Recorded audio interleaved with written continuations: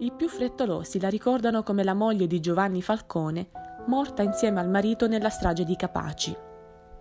Ma Francesca Morvillo era molto più della moglie di un eroe.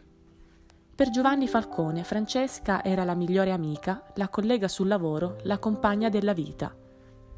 Moglie sì, ma soprattutto donna con una brillante carriera di magistrato.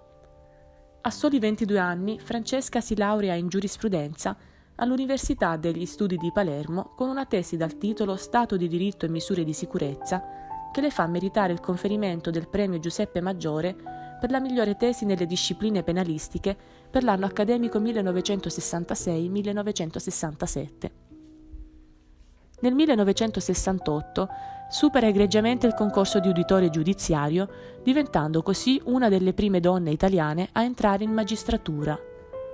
Nel corso della sua eccezionale carriera ricopre le funzioni di giudice del Tribunale di Agrigento, di sostituto procuratore della Repubblica presso il Tribunale per i minorenni di Palermo, di consigliere della Corte di Appello di Palermo e di componente della Commissione per il concorso di accesso in magistratura.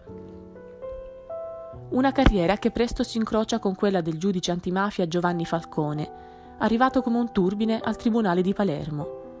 L'amore fa fare grandi cose ad una grande donna anche sposare il proprio uomo di notte con soli quattro testimoni e gli uomini di scorta intorno.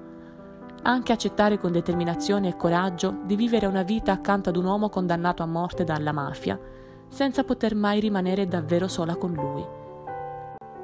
Francesca, con il suo sorriso straordinario e indimenticabile, per Giovanni non era solo un riparo dalla tempesta, il rifugio in cui tornare la sera dopo una giornata di tensione. Unico magistrato donna assassinato in Italia, Francesca Morvillo rappresenta una delle eroine più coraggiose e ammirate del nostro paese, oltre ad essere uno dei simboli più illustri e nobili della lotta alla mafia sia in Italia sia all'estero. Oggi l'Educandato Statale Santissima Annunziata ricorda e onora la memoria della dottoressa Francesca Morvillo Falcone in quanto magistrato, donna, moglie morta per amore.